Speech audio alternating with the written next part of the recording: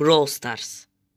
Eskiden cidden güzel olan ama daha sonra para göz youtuberlar ve velet kitleyle oyuncu kaybetmiş. En sonunda da PES sistemi gelince herkesin sövdüğü Supercell oyunu. Ve bugün ise Brawl Stars'ın resmi Twitter hesabındaki küçük çocukların yazdığı en iyi tweetlere bakacağız. Gülmeye hazır olun.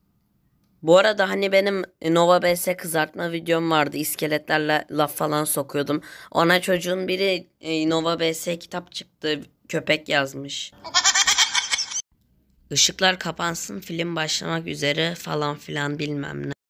Brawl Stars abi dilenci değilim bir Brawl Pass alırım. Dilenip dilenci değilim demek. Bir de üstüne bu kadar büyük bir firmadan bedava bir şey beklemek. Selam abi. Ah, neden böyle bir tweetin altına selam abi yazarsın ki? Neden? Kimse beni sevmiyor mu? Miskin sizi düşünen tek bir kimse yok mu bu dünyada yoksa? Şimdi başka bir tweet'e geçelim. Normalde daha çok şey gösterdim ama e, galerimde yer yok. Yoksa çok komik şeyler var. Gidin kendiniz okuyun.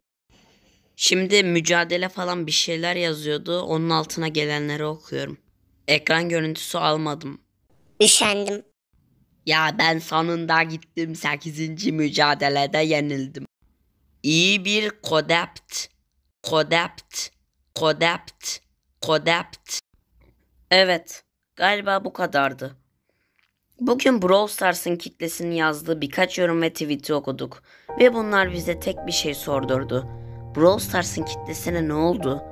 Daha da önemlisi kitleyi böyle yapan şey ne oldu?